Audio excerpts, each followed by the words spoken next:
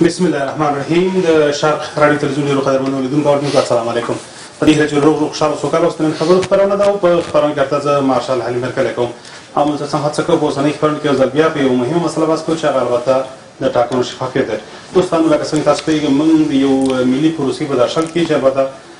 راتلونکي میزان په تېشتمه د پارلماني او ولسوالي شوراګانو لپاره ټاکنې ترسره کېږي په دغه وخت کې له وړاندې د ولسونو سره اندېښنې دا دي چې ایا دغه ټاکنې به شفاف وي که په تېرو ټاکنو په څېر په دې کې هم درغلي رامنځته کېږي. په اوس مهال کې تېره ورځ د ټاکنو خپلواک کمېسیون اعلان کړی چې هغوی داسې یو ډاټابېس په لاره اچولی یا داسې یو بانکي سیستم په لاره اچولی چې د هغې په واسطه کولی شي دوی تر ډېره حده پورې د درغلیو مخه ونیسي. په اوسنۍ خپرنه کې په همدغه مساله بحث کوو چې تر کومه حده پورې دغه تخنیکي هڅې د دې باعث کېدای شي چې په ټاکنو کې شفافیت رامنځته شي. موږ سره بحث کې درانه شنونکي د هر یو استاد محمد انور سلطاني، استاد ضیاء الحق بنوري همدارنګه په ننګرهار کې ټاکنو خپلواک کمیسیون د عامه پوهاوي او اطلاعاتو مسؤل ښاغلی روح الله مومند ټول تسلیم سلیم شي په خیر راشي خوشاله اوسئ مومند صاحب پیل کې تاسو ته راځو تېره ورځ چې کوم اعلان ټاکنو خپلواک کمیسیون د پروسې د شفافیت په هکله وکړو چې هغوی چې هغوی یو نوی ډاټابیس سیستم په لار اچي تر څو هغې په واسطه وکولی شي د په ولایاتو کې د نوم لیکنې پروسه صف کړي او دا مرکز سره وصل شي مجموع کې غواړم دغه موضوع لږه روښانه کړي دغه پروسه څومره موثره ده بسم الله الرحمن الرحیم اولا تاسو ته راغلو مینوال سلطاني صاحب ته بنوري صاحب ته او د شرق تلویزیون ټول لیدونکو ته سلامونه او نیکې هیلې وړاندې کوم د ټاکنو خپلواک کمیسیون د تیرو ټاکنو په څیر من دغه فرق کوي اوس تاسو خبر یاست چې د نوم لیکنې پروسه جریان لري په ننګرهار ولایت ولسوالیو کې او مرکز کې کله چې دا اوس د نوم لیکنه کیږي د تذکرو په اساس باندې په دې باندې مشخص لمبر لګول کېږي سټیکر ورته وایي دغه کله چې کوم ځای کې ثبت نام وشو په یو مرکز کې دغه کتابونه د ولایتي دفتر ته راوړل کېږي او د ولایتي دفتر په هغه سیستم کې داخلېږي کابل سره وصل کېږي یعنې هغه نومونه چې دلته ثبت شو په یو مرکز کې د هغې نه نوملړ جوړېږي او راتلونکو ټاکنو کې به د هماغه نوملړ په اساس باندې خلک کوم د هغې د لارې نه به رایې استعمالوي نو کیدای شي دې کې ډیر شفافیت رامنځته شي تقریبا د درغلي مخه ونیول شي کله کوم مسله یو مسله چې لوړان اندېښنې پکې دي دغه د ټاکنو په برخه کې سټیکر ویل کی چې راپورونه دا چې کابل کې پلازمینه کې د مرکز کې خپل آزاد بازار کې سټیکر لګي او هغه د بارم د سکم لار چاره مثلا په نظر کې ول شي د پڅنګ کې دغه تذکرو جارو تزویر تر کوم حد پر اساس نظر ټاکنو پروسه شفافیت ننګول شي خو د ټاکنو خپلواک کمیسیون دغه لکه موږ چې په ننګرهار کې وایو موږ په ننګرهار ولایت کې په مرکز کې اووه څلوېښت مرکزونه لرو د ښځینه او نارینه لپاره بیل بیل محلات دي دغه کوم نمونه چې په مرکز کې ثبت شو یو محل کې ثبت شو هم د دې نمونو په اساس باندې ما رای پاڼې مړه دي همدغه خلک به په همدغه ځای کې رای استعمالوي که په آزاد بازار کې سټیکر خرڅ شي نو بې فایدې به او دلته موږ سره به ثبت نه وي هغه سټیکر که په بازار کې خرڅیږي د ټاکنو خپلواک کمیسیون سره ثبت نه دي هم د هماغه په اساس به دید نشي کولای چې بیا را استعمال کړي نو او بل دغه د ثبت احوال نفوس مسله دا به د ټاکنو خپلواک کمیسیون خپل وګړو ته هغه اسانتیاوې برابرې دغه پروسه لږه پیچیدله پیچیده وه نو د ټاکنو خپلواک کمیسیون د ثبت احوال نفوس سره دغه دغه تفاهم لیک امضا کړی چې موږ به ټولو هغه واجدو شرایطو کسان ته تذکیرې ورکوو او د ټاکنو خپلواک کمیسیون به ورسره خپل نومونه مجبور ثبتوي نو که دا هغه هغه څوک چې نومونه یې ثبت کړي وي په کوم مرکز کې یوازې کولی شي په هماغه مرکز کې رایه استعمال کړي نو د جعل او تقلب مخه به ډېره نیول شوې وي. مننه که ستوري صاحب تاسو ته راځو مجموع کې اندېښنې د ولس شته دی د ټاکنو تېرو پروسو ته په کتو سره ولس اندېښمن دی چې پارلمان ته به بیا یو ځل هغه زورواکي وه خلک چې مثلا د زر زور خاوندان دی هغوی به ځي هغه خلک چې واقعا رښتیني په دغه برخه کې وړ خلک دی هغوی به پاتې کېږي له وړاندې اندېښنې شته مجموع کې ټاکنو خپلواک کمیسیون وخت ناوخت ځینې تخریبونه په لاره چې اوسنۍ برخه کې ستاسې توقع څه ده فکر کوئ دغه وروستي تخنیکونه به د دې باعث کېږي چې په ټاکنو کې درغلۍ مخه ونیول شي بسم الله الرحمن الرحیم قدرمن حجمی صاحب تاسو امام صاحب ګران استاد بنوري صاحب تخنیکی همکاران او د شرق تلویزیون ټول لیدونکو اوریدونکو سلام اچوم السلام علیکم ورحمت الله وبرکاته پروردګار دې دا د روژې میس د ټولو افغانانو د خوشحالۍ مصدر او منبع وګرځوي خدای دې افغانان نور د امتحان نه خلاص کړي دا جګړې پروردګار ختمې کړي جناب حلیمي صاحب واقعا نه انتخابات د جنګ لپاره د بدیل یوه لاره ده د جنګ بدیل انتخابات دي ځکه ښه انتخابات ښه پارلمان راولي او ښه پارلمان د ښې حکومتدارۍ لپاره میدان برابروي او د جنګ او د سولې فاصله راکموي نو انتخابات ضرور دي د افغانستان په دې اوسني پړاو کې ستاسو د فرمودې مطابق په تیر ځل کې واقعا زورواکو او چارواکو به د خپلو شومو موخو په خاطر باندې د انتخاباتو د پروسې شفافیت د سوال لاندې راوسته او هر یو زورواکي په خپل کلي کې په زرګونه په حساب دا کارټونه چې څه جعلي وو او څه اصلي وو دا یې په خپل کلي او بانډه کې په زور باندې استعمال کړ او ځان یې مقام ته ورسوه، همدغه نتیجه وه چې د افغانستان سیاسي نظام داغدار شو، تور شو، بدرنګ شو او د د خلکو د د بدنیتۍ او د خلکو په حساب د فاصلې سبب وګرځېد. اوسني انتخاباتو کمېسیون چې کوم کار شروع کړی، زه هم یو نوماند یم د افغانستان د شرقي ولایاتو د ننګرهار د مرکز نه نوماند یم، زه هم په دې هکله باندې تشویش کې وم، مګر ما چې په درې غونډې کې د انتخاباتو د کمېسیون سره، د ننګرهار د یوناما سره، د کابل د یوناما سره او د ننګرهار او د کابل د انتخاباتو د کمېسیون د غړو سره که مجلسونه وکړل او یا مو لرل، هغه ستونزې چې پروس کال د پنځلس کاله مخکې د انتخاباتو په ادرس وي، هغه په سلو کې پنځوس راکمې شوې دي. د څه بېلګې یادولای شې کوم مسایل چې هغه حل شوي اوس؟ هغه وخت کې به یو سړي په کور کې به د انتخاباتو مرکز و، بره له د مکتب او له جومات نه په غیر په کور کې به و، د ښځو تذکرې به یې رابار کړې یا کارټونه یې به یې رابار کړل، لسګونه کارټونه هلته به یې لیکل او نمرې یې به یې اچولې او یا په کور کې د نارینه و دغه به یې د دغه ته سټیکر میکر نه و، دا ووټونه به یې استعمالول. دا یو خاینانه عمل و چې د انتخاباتو تېر کمېسیون کړی و. دې اوسني کمېسیون کې اوس د ټول افغانستان په کچه او که ما ته ننګرهار مثال راوړو، څلور لکه او دیارلس زره تذکرې په ننګرهار کې تر دې دمه دغه شوي دي، سټېکر شوي دي او دا پروسه د جون د میاشتې د اواخره پورې دا دوام پیدا کوي، دا نوره په حساب ودرېږي.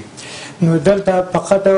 هغه مشکل چې د ولس سره وو هغه یو مشکل دغه دی چې زورواکو اوس هم د تذکرو د رئیس نه په استفاده باندې هر یو لس او پنځه کتابه واخیستل او دا یې د ځان په نحو باندې خپلو اقاربو او انډیوالانو ته ورکړل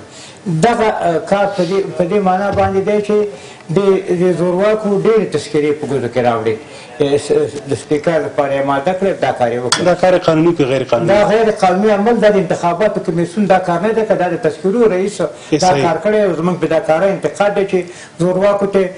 لس کتابه شل کتابه ډیر ورکړل او سټیکر یې بازار کې واغستل میاسلام پلازا کې یوه بیلګه دا وه چې د امنیت ملي کسانو هغه یو ګروپ هم نیو نو دا د ناخوالو یوه برخه ده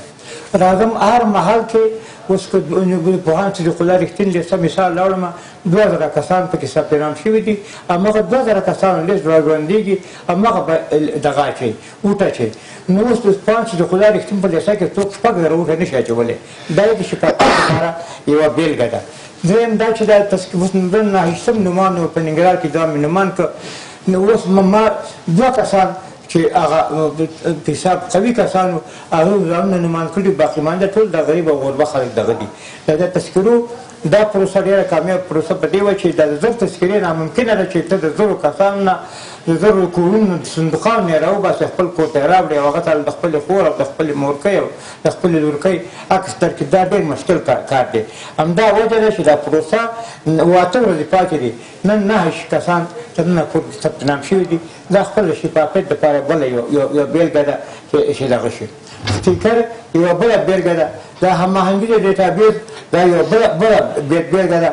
بله خبره دا چې دا مامورین چې دا فعلا لپاره اوس لپاره مقرر دي، دا مامورین په مختلفو پړاوونو کې په کور کیني، د انتخاباتو ورځ لپاره نوي مامورین راځي، نوي مامورین راځي، دا بله یو د تسل لپاره یوه نقطه ده چې سړی کولی شي. څلورمه خبره چې زه کوم حکومت د دې زورواکو نه او د دې ټولو وکیلانو نه په سلو کې نهه نوي وکیلانو نه حکومت تنګ دی، حکومت ته دا چلینج هم دې خلکو جوړ کړی دی، ملت هم جوړ کړی دی، حکومت هم نه غواړي چې نور دغه زورواکي په پراخه لاس باندې په دې په دې واړه لښتي کې لامبو وکړي او جنجال را جوړ کړي، هغه هم کوشش کوي چې ولس ته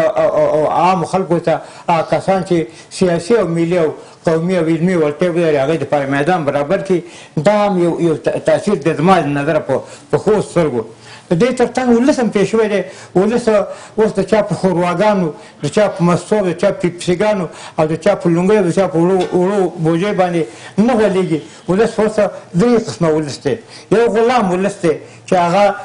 په حساب محاصره دی، هغه قرار نه شي ورکولی، هغه ډېر محدود ولس دی. یو هغه ولس دی چې څوک د احساس خاوند دی، احساس خاوند په دې پوه شوی دی چې زه به چا ته ووټ ورکړم، زه غله ته ورکړم، زه ډاکو ته ورکړم، زه کوتاه طریق ته ورکړم، زه توډې شیشې ته ورکړم، که زه یو افغان ته ورکړم، که یو مسلمان ته ورکړم، که یو عالم ته ورکړم، که یو سیاسي شخصیت ته ورکړم او که یو د ځمکو غاصب ته ورکړم چې ټوله دنیا په لمن کې اچولې ده، دا د ولس احساس دی، دا هم مونږ ارزیابي او مونږ دغه کړو. مننه کاکا سلطاني صاحب هم تاسو ته راځو نوري صاحب تاسو ته راځو مجموع کې سلطاني صاحب خوشبي لري چې تیر په پرتله باندې یو څه بهبود رامنځته شوی ده توقع دا ده چې نور هم ښه طرف ته لاړ شو ستاسو انګېرنه څه ده د اوسني وضعیت د ټاکنو په ارتباط باندې بسم الله الرحمن الرحیم محترم حنیف صاحب تاسو ته او سلطاني صاحب مومن صاحب او همدا رقم د شرق تلویزیون ټولو لیدونکو ته السلام علیکم ورحمت الله وبرکاته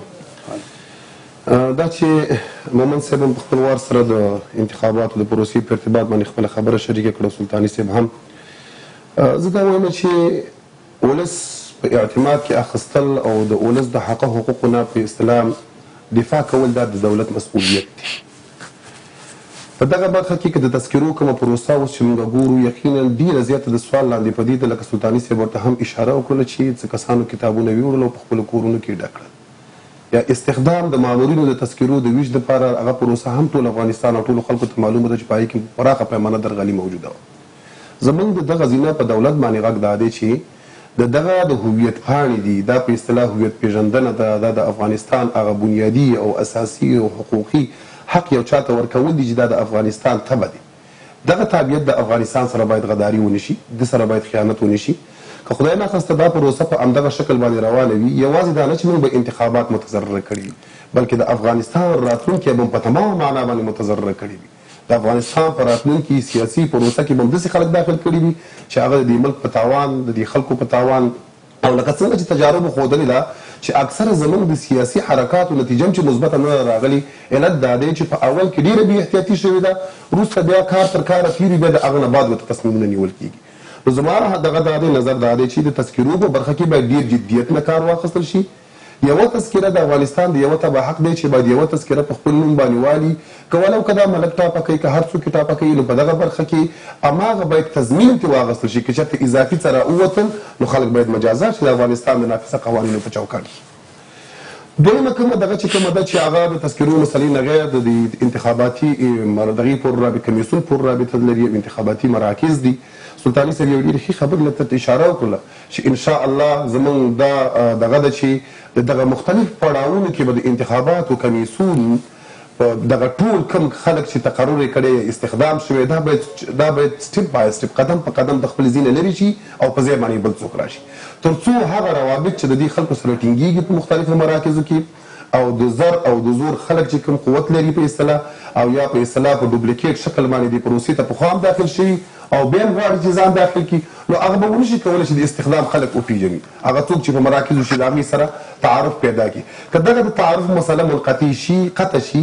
او په تذکرو په بلایې کې هم دغه د تعارف مسله ختمه شي او په دواړو برخو کې دغه قضیه وشي نو زه فکر کوم چې انتخابات سلطاني صاحب خو مخکې همسې ناست و چې پنځوس فیصده موږ ورته دغه یو په اصطلاح خوشبین یو خو زه به دا وایم چې د انتخاباتو پروسې لکه دغه دواړو پروسو هم د تذکرو او هم په کمیسیون کې دغه د خلکو استخدام چې کوم کېږي دا خلکو ته معرفي نه شي ونه ښودل شي او په واسطو باندې ونه شي زه ان شاءالله نوي فيصده مطمئن يم چې انتخابات په شفاف په ځانګړې توګه تذکرو کې ستاسو اندېښنه په څه کې ده چې یو کس ډېرې تذکرې اخلي دا د اندېښنې مسله ده که نه مشکل په کوم ځای کې دی اندېښنه دا وه چې لکه اوس سلطاني صاحب هم دې ته اشاره وکړه او په دې باندې ټول خبر دي اول استخدام په تذکرو په دغه کې چې کېده چې مامورین انتخاب دغه کېدل تذکرو ته دا ټول په واسطې باندې راغلي دي په دې نه ټول هغه امتحان چې اخیستل کېده حتی دومره په اصطلاح یو دغه پروسه دومره مغلقه شو چې ولایت هم پکې داخل شو د دې د په اصطلاح هغه کم جلکاري چې پکې شوی و کومې پرچې چې حل شوې وي بالاخره هماغه خلک چې کوم ورته مخکې نه نمونیټ شوي وو تقریبا هماغه پکې راغلل یو خو تشویش دا دی بل همدغه د تذکرو د ریاست نه چې کتاب وځي دا یو لویه د تشویش مساله ده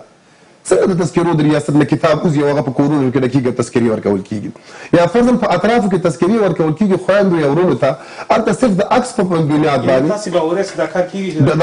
دا خو په اطرافو کې اوس هم موجود دی د عکس په بنیاد باندې تذکره ورکول کیږي ټيک ده چې مونږ يو سنتي ټولنه ده د دې لپاره بايد خويندې استخدام شي اقلاً هغه خور چې فرضاً تذکره اخلي د دې خويندو په وسيله خو هغه وليدل شي چې دا خور يوه تذکره واغسته يقيناً دا خور موجوده ده که نه دغه عکس شته که نه حتی اوس خو د انټرنيټ نه عکسونه ډاونلوډ کيږي څوک څه پوهيږي چې چا په خور کې په کور کې دا خور په کوم شکل باندې ده. اقلا د دوی تصفیه خو باید وشي چې څوک تذکرې اخستلو ته راځي نو د خویندو کوم ګروپونه چې کوم دي هغه باید خویندې وپیژني د ورونو کوم ګروپونه چې دي هغه باید ورونه وپیژني او دغه ډاټا بیس دغه روزانه تذکرې چې ورکول کیږي په کوم مهالونو کې دغه ډاټا بیس باید د شپې له خوانه سره شریک شي چې فرضاً په روداتو کې فرضاً په کامه کې فرضاً په سرخود کې نن څومره تذکرې توزیع شوي په کومو نومونو توزیع شوي او د چا له خوانه د دوی د تذکرو په اصطلاح د کوم ملک د خوانه دوی تائید شوی دا باید ټول ډاټا بیس ته وخیژي که سبا ته په تذکرې کې څه راوځي یوازې دا نه چې وویل شي تذکره جاري شوه، بلکې هغه چا چې دا کار کړی دی او هلته یې فرض المهر ورته والي والک دا ټول باید عدلي او په اصطلاح قضايي دغې ته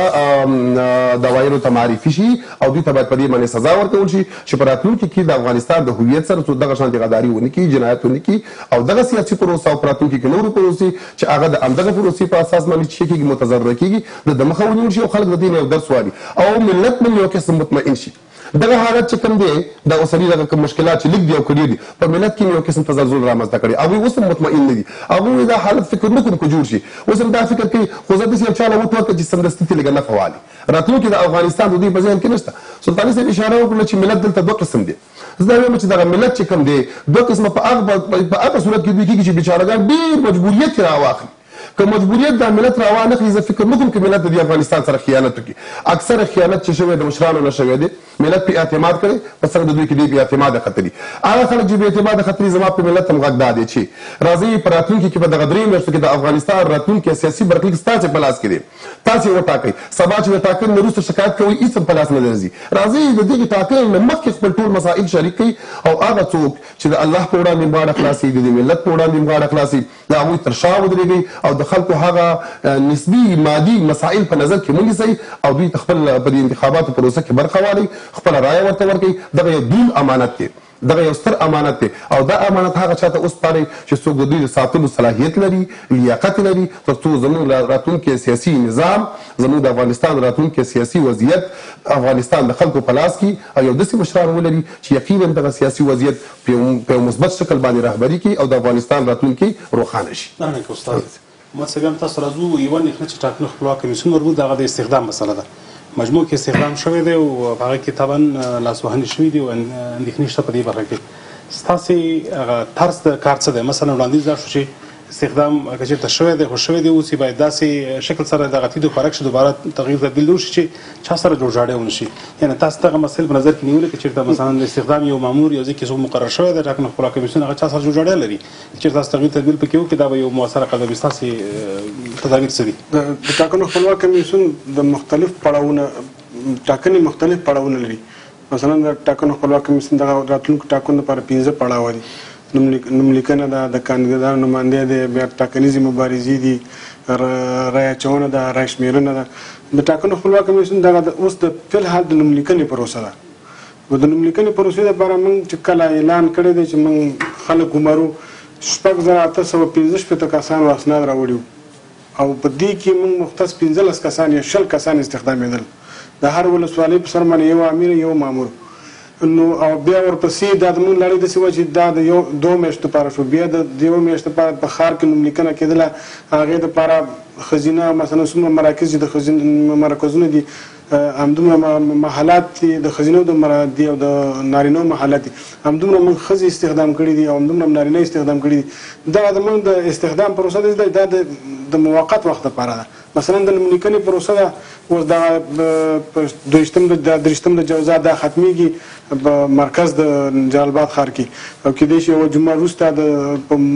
ولسوالیو کې هم ختمه شي دغه کارمندان زموږ سره د دوه میاشتو لپاره قرارداد وو او د دوی د قراداد ختم شو چې کله دوی د خلاص شو د د راتلونکو ټاکنو لپاره بل نوی طرز العمل نوی استخدام پروسس د صورت نیسي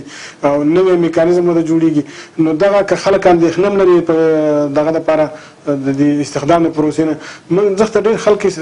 استخدام کړي مثال د ننګرهار ولایت کې موږ اووه څلوېښت مرکزونه لرو په اوس هم مرکزونو کې درې سوه نههویشت کسان مونږ استخدام کړي دي، دې کې که زیات استخدام شوي په واسطه باندې به شل کسان یا به دېرش کسان وي، نو د یو سړي به دومره تعارف چېرته وي چې دا دې کې به ډېر بې وزله، ډېر بېچاره ګان، ډېر مسکین خلک به دې کې او وړ شخص به استخدام شوي. زه په دې مرکزونو باندې بعضې وخت کې ګرځم، زه د دوه درې مرکزونو مثال در کوم دلته مثلا د ښار په دوه درې مرکزونو کې داسې کسان مو وکتل چې لیسانسه دي، او د شرایطو نه فارغ دي او د حقوقو نه فارغ دي اوس د یو مرکز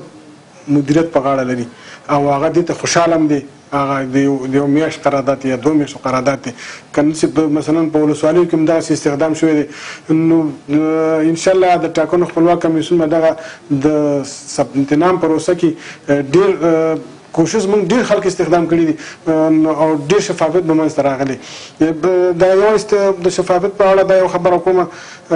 دغه اوس د نوملیکنې پروسه کې چې کله ثبت نام یو شخص کوي یو تذکره راوړي د یو شخص خپل عکس کتل کیږي نوم د پلار نوم د نیکه نوم دغه د سټیکر نمبر د سکوک ګڼه د ثبت ګڼه او د جلد ګڼه کله چې دا ديدو ثبت يي په کتاب کې يوه ورقه د دي د تذکرې شاته چسپي د ټاکنو په ورځ باندې همدغه چسپيدلې ورقه سړی ځان سره راوړي دغه تذکره ځان سره راوړي عکس بدل شوی دلته به سړی د سړي نه پوښتنه کوي چې نوم دې څه دی مثلا ورته وایي چې زما نوم احمد دی د پلار نوم د نیکه نوم که جال نیسي نو هغه دې کې بیا هم دا ګیر کیږي چې د د د پلار نوم خو به زده کړي د نیکه نوم به کوم ځای نه زده کړي د سکو ګڼه د ثبت ګڼه دا په یاد نشي ساتلی کیدای شي تفاوت سره وکړي نو د تقلب مخه به ډیره نیول شوي د ټاکنو په ورځ باندې او هماغه کتابونه چې کوم ځای کې ثبت شوي دي هماغه لیست به جوړیږي او هماغه کس چې چا چېرته ثبت نام وکړ د ټاکنو پر ورځ به هماغه کس وړ شخص راځي او خپله رایه به استعمالوي که وړ شخص رانغی دغه رایه همداسې اضافه پاتې کیږي او دغه لیست ته نه رسول کیږي یو یو مسله چې مخکې استاد ورته اشاره وکړه هغه د ایسایي په برخه کې اندېښنې شته چې تقریبا ډیر دقیق نه دی او ای تذکیری جوړیږي په دغه برخه کې تاسو دسه کوم لار لري چې مثلا یو څوک درې تذکیری جوړي په دریو ځایونو کې مثلا ثبت نام کې په بیلا بیل نمونه باندې د کوم تر هشته چې دغه مخې مو شي کنه دا وتیریږي نو که دغه موږ خو موږ چې موږ د کله چې ثبت نام کیږي روزانه د موږ ارقام موږ د ټولیږي موږ د ولسوالیو سره په تماس کې اوسم نسي دارقام روزانه مرکزي کمیسون ته ځي او دغه ثبت نام چې کله وشو دغه مثلا په یو محل کې موږ شپږ سوه رای پاڼې لپاره یو کتاب ترتیب شوی دی نو دغه کله چې دا کتاب تکمیل شو په یو محل کې دا سمنسي را انتقالیږي دفتر ته مرکزي ولایتي دفتر ته او د ولایتي دفتر نه سکین کیږي د سکېن په اساس باندې دا زی ډیټابیس ته خېږي نو که د ګوتې په اساس یا د نوم په اساس باندې یا د شکل په اساس باندې هغه اولنې ثبت نام د چا کړی هغه تذکره صحیح کیږي او دا بل د لیست نه وځي یو دغه سمون یو سیستم شته دی تاسو بیا هم تاسو راځو هغه سپیناوي د موضوع په اړه یو څه نه څه شو مجموع کې اندېښنې شته دی بیا هم سره دي چې موږ وایو چې کار شوی د خوندښنې ورسره شته دی په ننګرهار کې ستاسو نظر هغه اساسي چیلنجونه څه دي د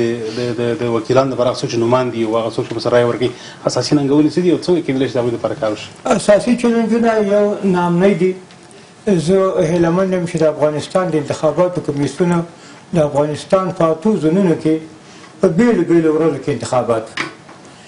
فرزانه غربي زون ایراد زون دی هلته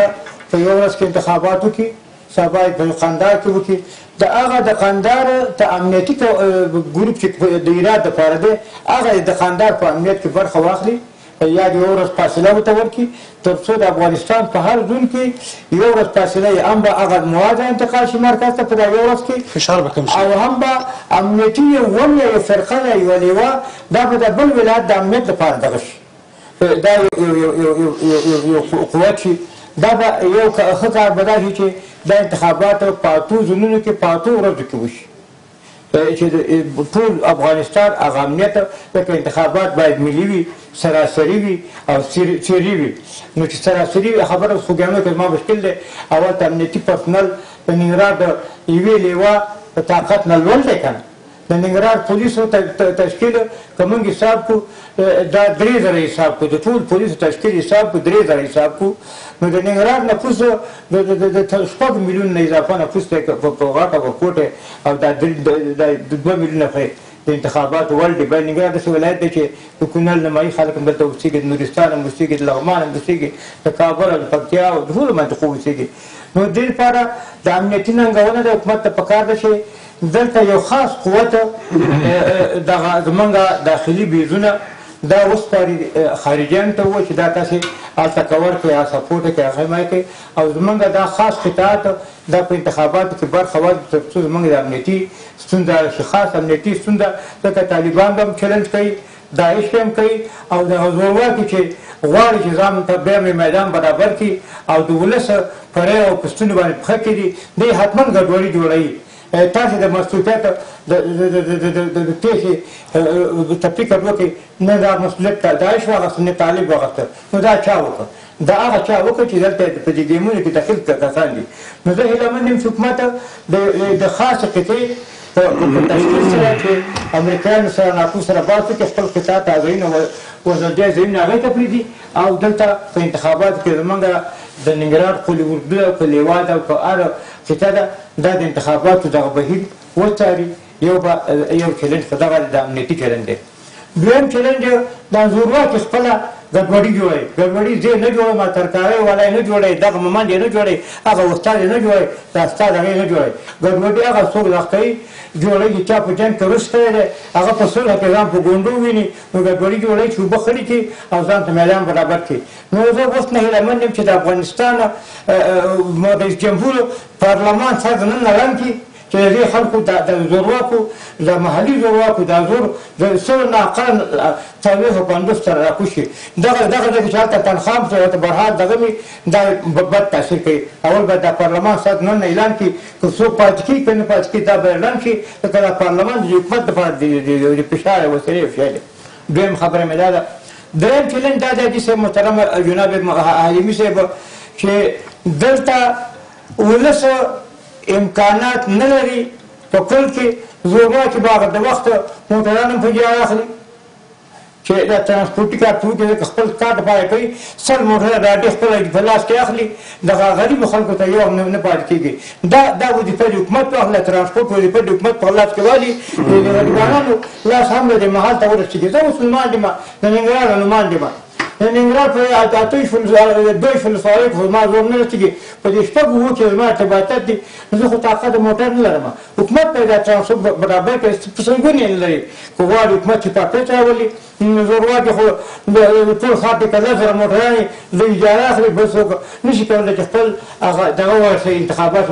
مرکز ته حکومت باید دا بوج واخلي چې دا ځواني وکړي په دې که حکومت غواړي چې شفافیت راشي او کار اهلکار ته وسپارل شي ښه حکومتداري راشي د فساد او د غلا دغه وکړي بل چیلنج دا دی ولس دپاره چې اکثره زورواکي په زرګونه جریبه ځمکه په جیبونو کې اچولې ده نور قتلونه یې کړي دي ظلمونه یې کړي دي منفي څو کسان دغه کسان به د حکومت او په په یو یو یو سری شکل باندې له امنیتي ارګانونو نه د هغې پوښتنه وشي خلکو د بد بل تحویل کړل د دنه بل خیانت کوم ځای کوي شل لکه دیش لکه پنځوس لکه شپېته لکه باقي باقي دي او دا د ناس دي حکومت د په سری لیست باندې دغه زورواکو مخه ونیسي او دغه د لیست نه کړ تر څو شفافیت ته میدان برابر کړي نو دغه چیلنجونه ټول چیلنجونه د حکومت او د حکومت سره د فاصلې دغه موازي حکومتونو جوړ کړي دي ولس خو هغه ولس ته چې خپل زوی حکومت ته ورکړی دی په عسکرۍ کې ضابطۍ کې او ملي امنیت او ټول ته ورکړی دی هغه مازیګر جنازه راځي دا تحمل ولس کوي دا باید حکومت په دې باندې پوه شي ولس د حکومت پروګرام نښلولی دی حکومت یې لمن نه شړي زورواکو پرې دا فشار راوړی دی زورواکي حکومت راول ده او حکومت نه هیرمن یم چې مخې ولس لا کوي ډیر زیات مننه استاد نور ستا سره راځو ورسته برخه ده بحث ټولو ځینې پیشنهادات سلطاني صاحب درلودل چې د ټاکنو خپلواک کمیسیون ته همدارنګه مجموع کې نظام ته وجه تر څو کړی شوم راتلونکي ټاکنې شفاف کړي ستاسو نظر نور څنګه کېدای شي نور کوم مسایل چې باید مخه ونیسي تر څو توانیږو راتلونکي ټاکنې شفاف کړي زما په خپل نظر خو ننګونې یقینا چې ډېرې هم دي سلطاني صاحب ورته هم اشاره وکړله چې د ټولو نه ستره ننګونه هماغه د ناامنۍ ده او زه به د ناامنۍ نه صرف دومره اشاره وکړم چې ناامني زیاته چې جوړیږي د داخل نه جوړیږي او په اکثره مواردو کې چې کوم ځای کې څوک هلته لیږل کیږي یا دلته د امنیت د ساتلو لپاره لیږل کیږي کوشش دې دولت وکړي چې دغه خلک باید د چا پورې تړلي خلک نه وي. که دا په عسکرو کې وي، که دا په هر ځای کې وي، دا باید د چا پورې تړلي خلک نه وي، دا باید د هغه چا د هغه چا ورونه او د تره زامن نه وي چې هغه انتخاباتو ته ولاړ او ټوله قومنداني د هغه په لاس کې ده. دا باید داسې کسان استخدام شي چې چور په دغه ولایت کې چور وي نه، بلکې د بل ولایت نه یې راوړي وي او دلته یې ودرولي وي چې د دې ځای دا کاندیدان ورسره په هېڅ قسمه رابطه باید ونه لري. که موږ وایو چې موږ امنیتي ارګانونه هلته لېږو، خو په څنګ کې د امنیتي ارګانونو قومندان د یو صیب پورې تړلی دی، نو دا خو موږ نشو ویلی چې دوی دې د ناامنۍ مخه ونیسي، بلکې همدوی مشکل جوړوي او ناامني به رامنځته کوي.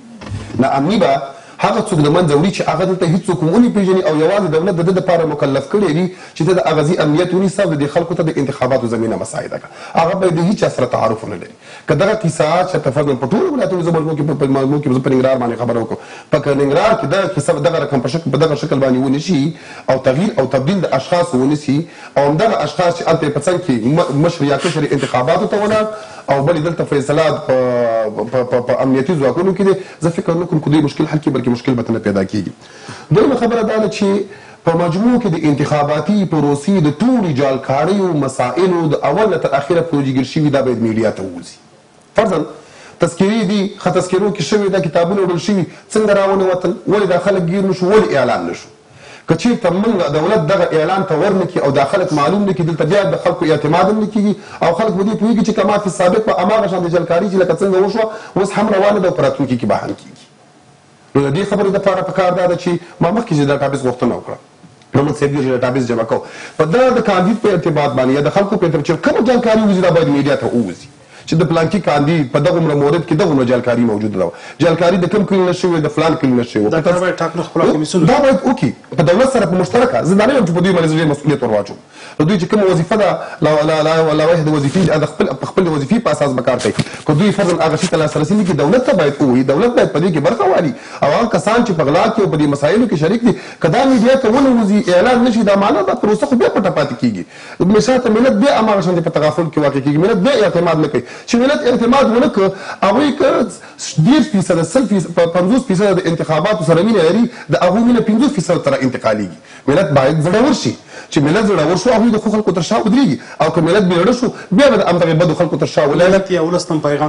وي. نو ولس ته پېغام دا دی چې دوی بايد د خپلو حقوقو نه ښه په زړورتيا او جرئت سره استفاده وکړي، د هغه خلکو تر شا چې فرضاً پرون ولاړ وو او دوی ترنه اوس هم شکايت کوي، دولت هم ترنه شکايت کوي، هغوی ته په تمامه مانا رخصت ورکړي او په خپله د هغه چا تر شا ودرېږي چې هغوی په دوی پۀ د نېک ګومان کوي، هم به الله ته غاړه خلاصوي او هم به دې ملت ته غاړه خلاصوي. درېمه مسله زما دا ده، زه بیا هم دې ته اشاره کوم او زیات فوکس په دې باندې کوم چې استخدام په تمامه معنا باید تغیر شي، تغیر شي په مختلفو پړاوونو کې او حتی د هغه یوې منطقې خلک چې کوم ځای کې استخدامیږي د هغه منطقې خلک باید د خپلې منطقې لپاره استخدام نه شي، باید د بلې منطقې نه ورته ولیږل شي او د هغوی تعارف پاڼه هیڅکله باید د باندې ونه وځي، هغه باید دومره دومره په اصطلاح سري پاتې شي چې هیڅوک پوه نه شي چې په پلانکي مرکز د تذکرو. په پلانکي مرکز د انتخاباتو کې کوم ورور دی د کوم ځای نه فارغ دی د چا پورې رابطه لري که زمونږ د دې خلکو نومونه ووځي حلوي صاحب تاته بهتره معلومه ده چې د زورواکانو په یو تلیفون باندې تعارف د هغوی د پاره مونږ که شپه او ورځې کور ته ورشو هغوی یو تلیفون زمونږ نه کافي دی او نه دا چې زمونږ شپه او ورځ ورتګ ځکه چې دا ولس داسې دی چې په یو قسم دغه کې واقع د ویره کې واقع دی او دا ویره د غریب سړي نه بیا څوک نشي راغستی او زما ژوند ته خطر دی زما فامیل ته خطر دی او زه به دا ووایم چې متحدیږي هم نو بناءً یو خو به مامور د تهدید نه خلاص شي، بل طرف نه به د چا رابطه ورسره خلاصه شي او بل طرف نه به ولس مطمئن شي چې یاره پرون چې د چا نوم اخستل شوی اخو نن په دې دفتر په دې په دې مرکز کې نشته، نن خو بل څوک راغلی، پرون چې چا د دې غورې وهلې چې زما په مرکز کې نفر دي کوم زه تا او دا وسوی ولسه زه تاسې نه ویرای نه غواړم. زه اوس څنګه کامیاب یم په پلانکي مرکز کې مې شپږ نفر مقرر دي په پلانکي مرکز کې مې لس نفر مقرر دي چې دغه کانسپټ او دغه فکر په تمامه معنا باندې هیڅ د چا ذهن ته رانشي او خلک ووایي چې یاره هیڅ د چا په باره باندې معلومات نه لرو چې دلته به فرض حلیمي صاحب راځي په دې مرکز ته سلطاني صاحب به راځي مومند صاحب به راځي بل څوک به راځي څوک به استخدامیږي نو په دغه برخه کې زما غوښتنه ده د ولس نه هم همدا ده چې جرأت دې وکړي جرأت دې د لاسه نه ورکوي. د انتخاباتو د کمېسیون د دوی د لوایحو د وظیفې مطابق چې دوی کومه لایحه د وظایفو لري او همدغه رقم په مجموع کې دولت چې ټول مسئولیتونه ور په غاړه دي هغوی باید په شرکه د په شریکه د دوی سره په اصطلاح د یو